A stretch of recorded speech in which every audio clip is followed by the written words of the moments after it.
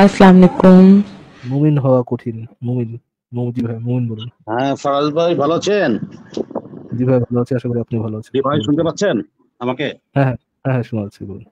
আচ্ছা আচ্ছা। আমি একটা বিষয় বলতে চাই।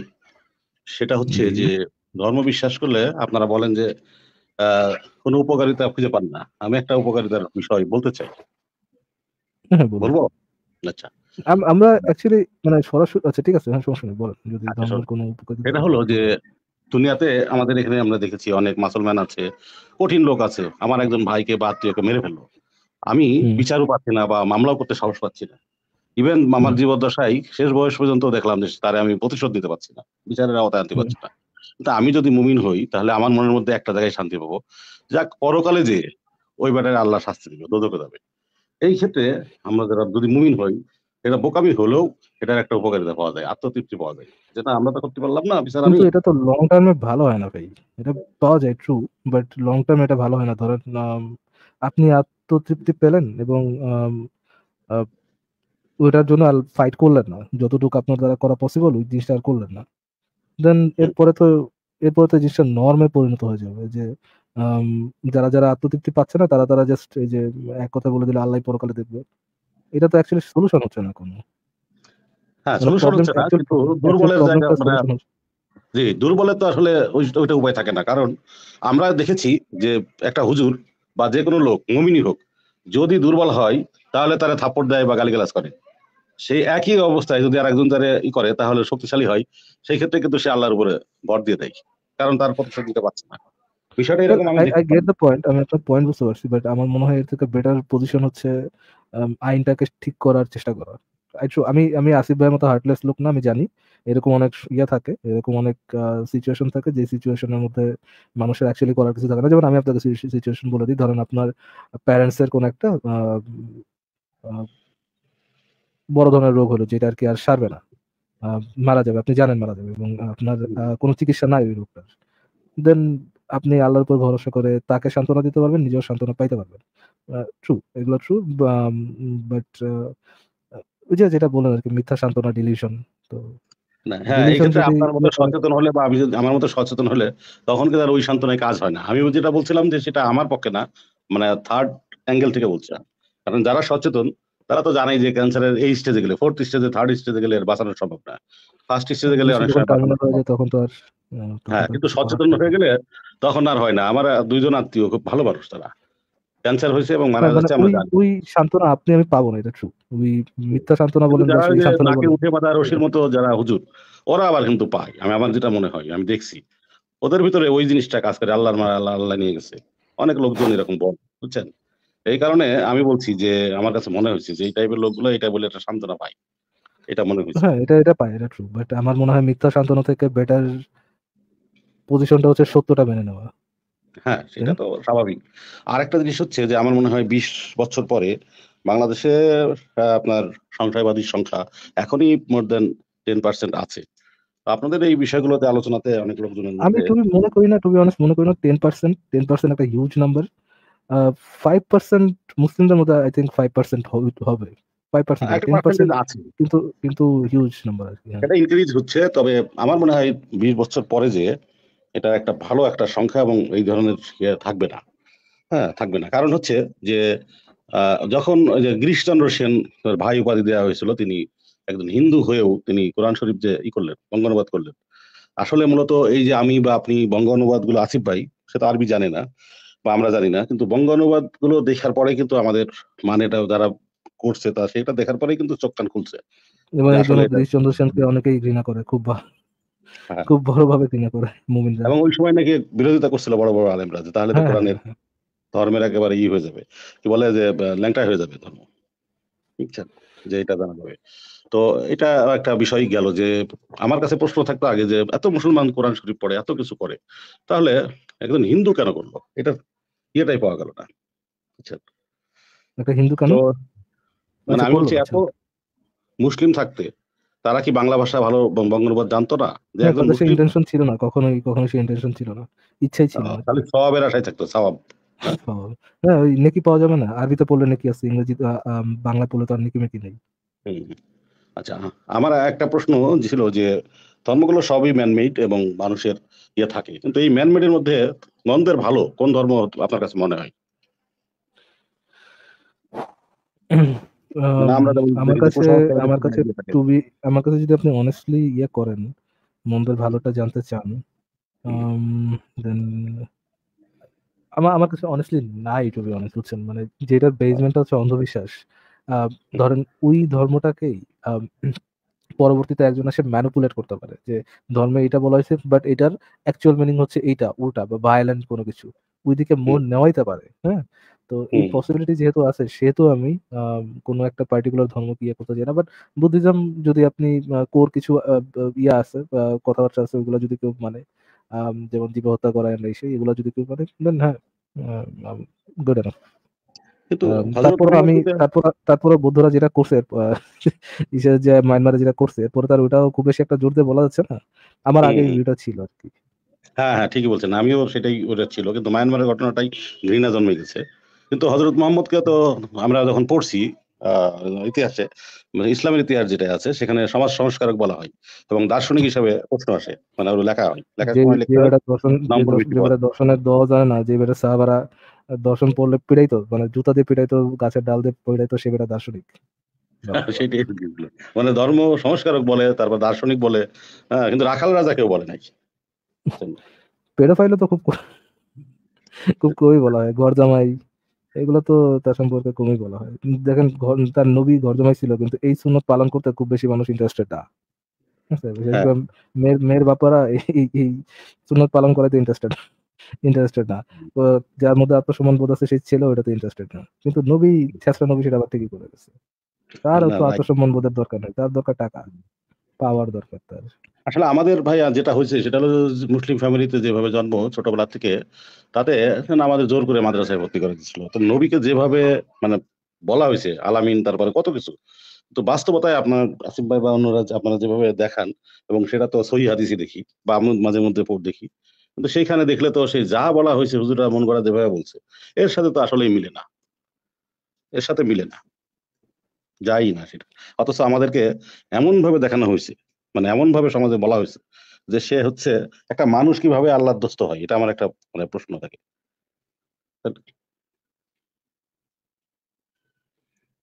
মানে মানুষ হিসাবে কীভাবে আল্লাহ দোস্ত হতে পারে? আল্লাহর দোস্ত দুশ্মন কোনোটাই তো হওয়ার কথা না?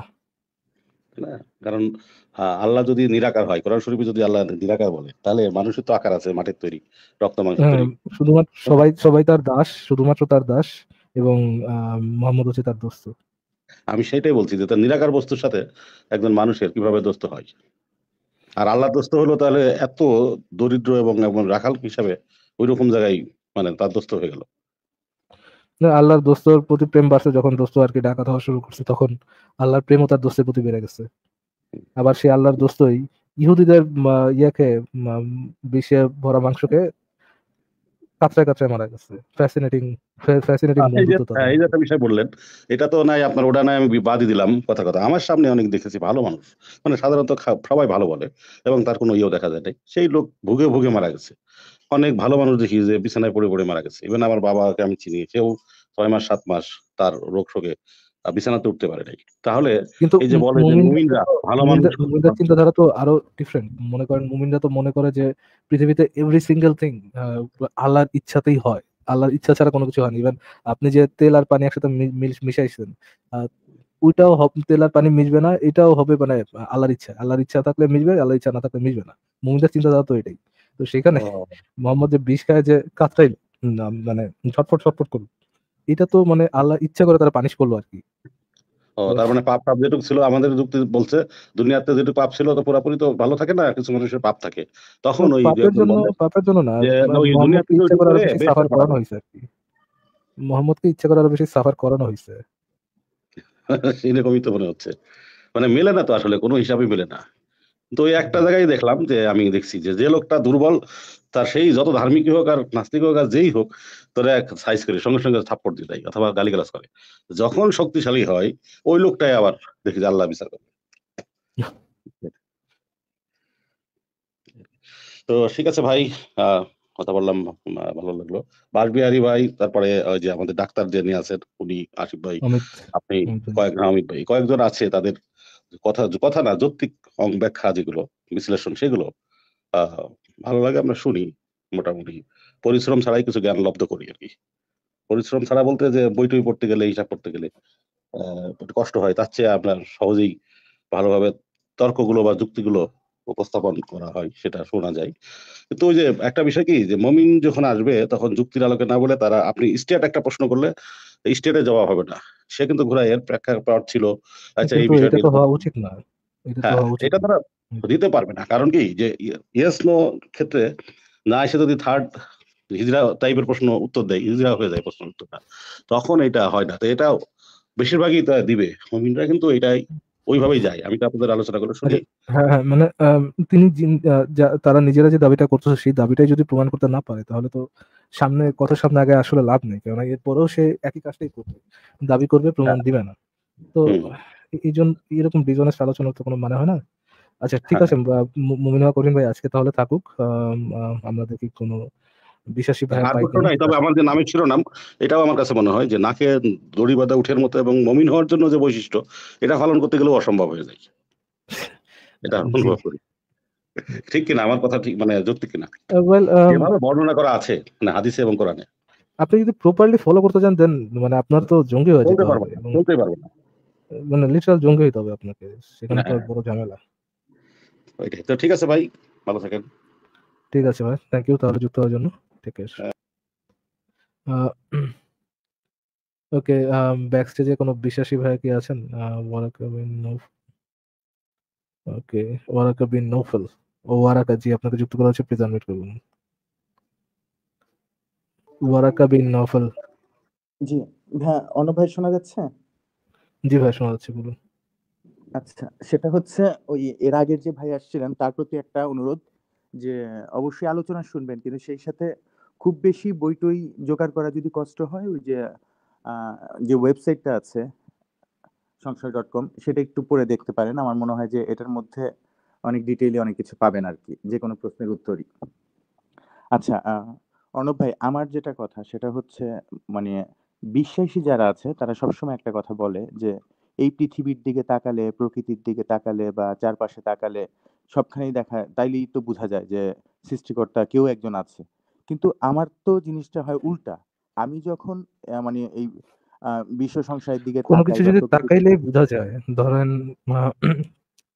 পৃথিবীর দিকে তাকান সূর্যের দিকে তাকান আসমানের দিকে তাকান তারকার দিকে তাকান নিজের শরীরের দিকে তাকান তাকাইলেই যদি বোঝা যায় যে সৃষ্টিকর্তা একজন আছে তাহলে তো আহ, এটা নিয়ে সায়েন্টিফিক রিসার্চ এটা নিয়ে ফিলোসফিক্যাল যুক্তি প্রমাণ এগুলো তো অ্যাভেলেবেল থাকার কথা তাই না? যে বুঝতে পারছি আপনি কীভাবে বলতে যাচ্ছেন। আপনি কীভাবে আপনি কীভাবে বলার চেষ্টা করছেন এটা বুঝতে পারছি বাট আমি মুমিনদের পয়েন্ট অফ ভিউ থেকে বলতেছি। আচ্ছা। মুমিনরা যারা বলছেন যে তাকাইলেই বোঝা যায় যেখানে তাকাইলেই বোঝা যায় সেখানে তো গবেষণা করলে আরও বেশি বোঝা যাবে রাইট আপনি তাকাইলেই বুঝতে পারতেছেন এই জিনিসটা অনেক দামি। তাহলে গবেষণা করে তো আপনি ওটাই পাবেন যে জিনিসটা অনেক দামি তাই না? ধরেন কোন একটা রেয়ার ইয়ে পাইছেন আপনি রেয়ার জেম পাইছেন আপনি তাকাই বুঝতে পারতেছেন যে এটা অনেক দামি। যদি এটা সত্য হয় যে তাকে ওটা আসলেও দামি তাহলে গবেষণা করলে তো মানে আরও বেশি প্রমাণিত হবে যে এটা অনেক দামি। কিন্তু গবেষণাতে তো আমরা সায়েন্স থেকে তো এরকম কোনো স্রষ্টা মষ্টার কোনো অস্তিত্বের প্রমাণ পাচ্ছি না। হ্যাঁ উল্টা যেটা পাচ্ছি আমরা চারপাশে তাকাই তখন দেখি উল্টা যে সৃষ্টিকর্তা বলে যে কিছু নাই সেটাই বারবার প্রমাণিত হয়। যেরকম ছোট্ট একটা উদাহরণ দেই। আমি যদি সৃষ্টিকর্তা হইতাম আমি কখনোই এইটা করতাম না যে একটা প্রাণী আরেকটা প্রাণীকে হত্যা করে তার নিজের জীবন মানে ইয়া করবে উম, যাপন করবে। হ্যাঁ একটা বাঘ একটা হরিণকে খাবে। আমি সৃষ্টিকর্তা হইলে দেখা যেত যে সোলার এনার্জি থেকেই মানুষ শক্তি নিয়ে নিতে পারতেছে তার প্রয়োজনীয় শক্তিটুকু। এই ধরনের কিছু একটা করে দিতাম। একজনকে হত্যা করতে হবে আমার সৃষ্টির আরেকটা জীবকে হত্যা করে করে টিকে থাকতে হবে। মানে এইটা চাইতে তো ভয়াবহ বা মর্মান্তিক কিছু হইতে পারে না। মানে সমস্ত সৃষ্টি জগৎটাই কিন্তু টিকে আছে যে একটা প্রাণী আরেকটাকে খাবে। হয় প্রাণী উদ্ভিদকে খাবে বা এক প্রাণী আরেক প্রাণীকে খাবে, এইভাবেই কিন্তু মানে পুরা চেইনটা তো এইটা তো একটা মানে অমানবিক ব্যাপার। আমি যদি আসলেই সর্বজ্ঞানী, সর্বদয়ালু, সর্বশ্রেষ্ঠ হই, মহানুভব হই, আমি কখনোই এটা করতাম না। আমি সোলার এনার্জি থেকে সবার প্রয়োজনীয় শক্তিটা নিয়ে নিতাম, যে বেঁচে থাকার জন্য সে সূর্য থেকেই পেয়ে যাচ্ছে। মানে একটা কথার কথা উদাহরণ দিলাম আর কি। তো এইগুলি আমি যখন চারপাশে তাকাই তখন তো মানে এই বৈসাদৃশ্যগুলিই চোখে পড়ে। মানে বারবার করে চোখে পড়ে। আমার এই ইয়ার সাথে আহ, বায়ুপথের সাথে কেন আমার মানে যৌনাঙ্গ থাকবে? মানে এটাও তো একটা বিশ্রী ব্যাপার। মানে এই ধরনের তো হাজারটা লক্ষটা ভুলই আমি দেখি। মানে ইয়া তো দেখি না কোনো। জি জি জি। একমত আমি আপনার এইটার সাথে একমত জি। এই আর কি ভাই। আহ, এখন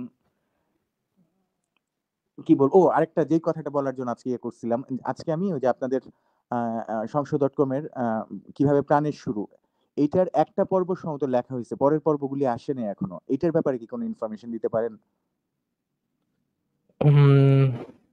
না আমি এটা বলতে পারছি না এটা মনে হয় ইয়া অমিত ভাই বলতে পারবেন যে এটা কবে থেকে চালু করবেন লেখা কবে থেকে চালু করবেন।